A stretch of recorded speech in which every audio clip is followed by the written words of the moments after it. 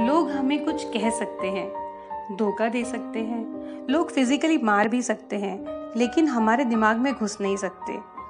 लोग जो करेंगे, वो बाहर करेंगे, क्योंकि दिमाग के अंदर कोई नहीं घुस सकता। उनके व्यवहार को देखकर हम जैसा सोचेंगे, और जितनी देर तक सोचेंगे, जितना उस चीज़ के बारे में बोलेंगे, उससे ये घाव बढ़ता जाएगा। लेकिन मन को ऐसे बोलना, ऐसे बात करना सिखाना पड़ता है।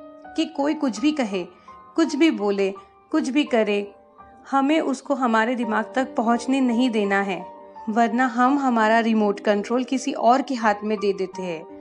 फिर वो अपनी मर्ज़ी से अपना चैनल चलाएगा, जो वो चाहेगा। अपने दिमाग का रिमोट कंट्रोल अपने हाथ में रखिए।